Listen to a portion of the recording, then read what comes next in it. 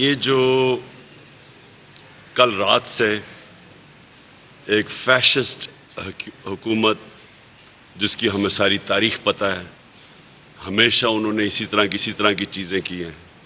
तीस साल ये दोनों हुकूमतें पावर में रही हैं। दो फैमिलीज़ पावर में रही हैं, हुकूमतें नहीं। ये दो ख़ानदान पावर में रहे हैं और हमें तीस साल की इनकी तारीख पता है। इनके अंदर और मिलिट्री डिक्टेटर्स में कोई ख़ास फ़र्क नहीं रहा। ये वही हरबे इस्तेगा ये अब फैसला होगा, दो तरफ़ अब जा सकता है।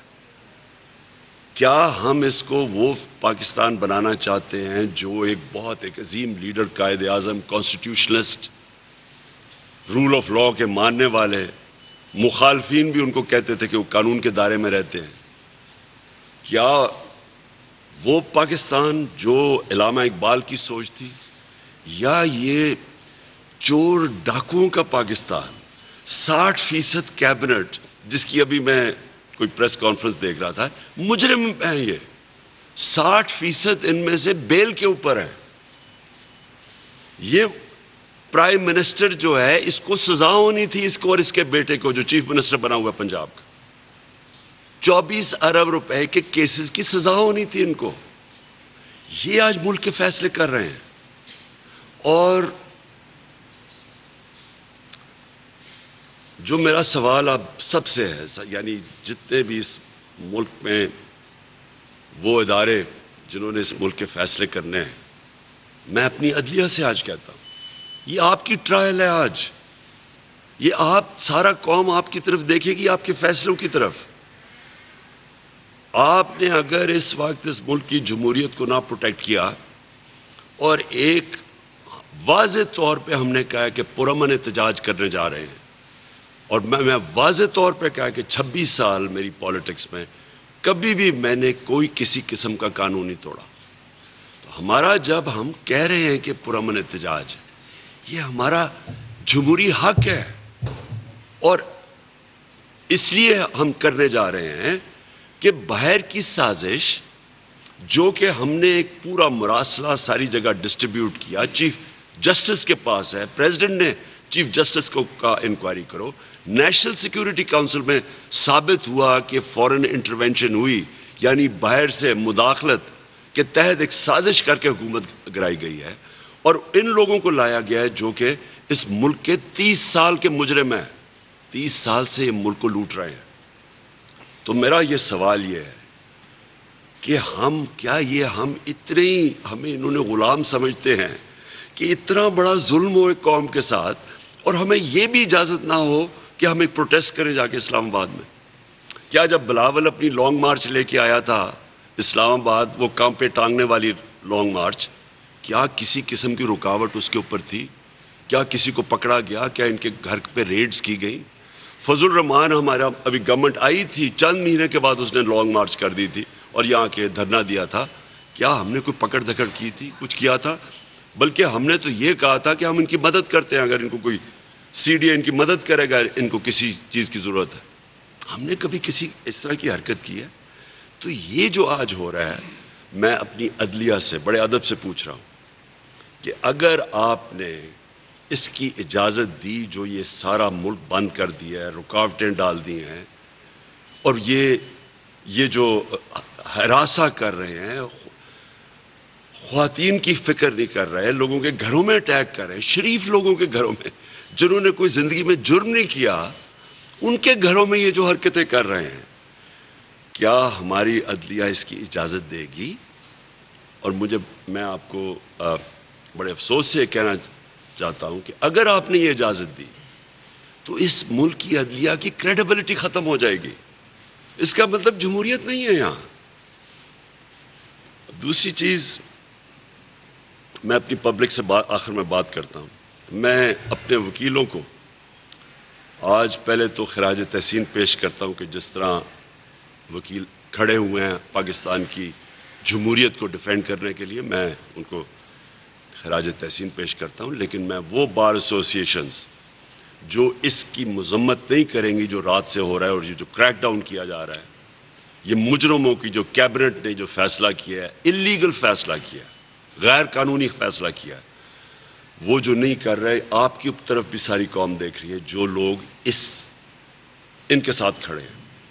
फैसला कोई इस वक्त न्यूट्रल रहने की गुंजाइश किसी के लिए नहीं है। न्यूट्रल रहना हमारा अल्लाह हमें कुरान में इजाज़त ही नहीं देता।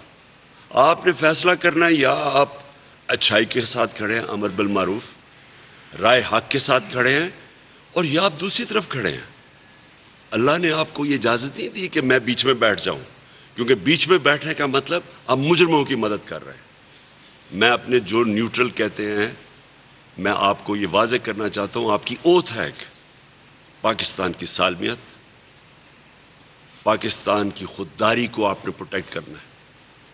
और ये आज के जमा, ये जो हो रहा है, और मैं, मुझे अफसोस से कहना पड़ता है कि ये जो हमारे एक्स फौजियों से कर रहे हैं ये सारी कौम को समझना चाहिए।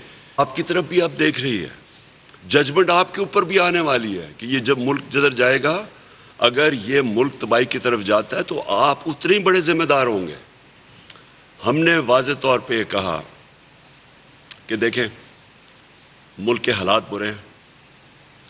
इन्होंने डेढ़ महीने के अंदर आके देखते देखते मुल्क की मीशत तबाह कर दी है। रुपया फ्री फॉल पे चला गया है। स्टॉक एक्सचेंज क्रैश कर गया है। हर रोज़ महँगाई बढ़ती जा रही है और अभी असल महँगाई की लहर आएगी, जैसे इम्पैक्ट पड़ेगा ये जो रुपए गिरने का, इसका हर चीज़ पे इम्पैक्ट पड़ेगा। कौम के लिए इस वक्त जो आगे देख रही है कौम, अंधेरा नज़र आ रहा है, ये जब जब जब तक ये लोग ऊपर बैठे हुए हैं। एक ही इसका हल है जमहूरी हल है कि इलेक्शंस करवा दें। और फौरी तौर पे इलेक्शंस करवाएँ। इसके अलावा इसका कोई दूसरा हल नहीं है। जो भी आप करेंगे इस वक्त, जिस तरफ़ भी आप इसके अलावा कुछ करेंगे, मुल्क नीचे ही जाता रहेगा। और मुझे खौफ आ रहा है कि हम ये श्रीलंका की तरफ़ जा रहे हैं, जो श्रीलंका के अंदर हालात है।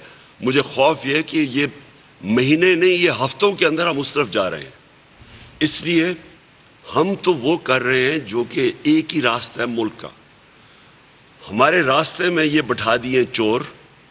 चोरों का सिर्फ़ चोर इसलिए ये नहीं चाह रहे क्योंकि इन्होंने इकतदार में आके मुल्क की कोई खिदमत नहीं कर रही इन्होंने अपने करप्शन के केसेस ख़त्म करने। हैं इन्होंने जो एफ़ आई ए में ये जो शबाज शरीफ और बेटे का चौबीस अरब के केसेस हैं, ये इन्होंने ख़त्म करने। हैं इन्होंने नैब ख़त्म करनी है।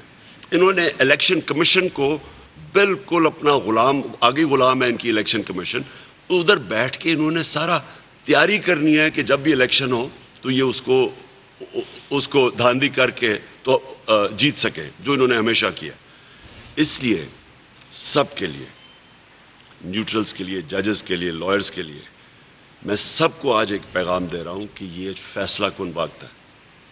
और मैं अपने सहाफ़ियों को, मैं पहले तो सलूट करता हूँ वो सहाफ़ी जो आज खड़े हुए हैं। इस मुल्क की खुददारी के लिए और हक और सच के लिए, जिनके पीछे आज एफ़ आई आर्स काटी जा रही हैं, जिनको गद्दार कहा जा रहा है, जो जिनको गद्दार कहा जा रहा है, वो कौम उनको बड़ी देर से जानती है।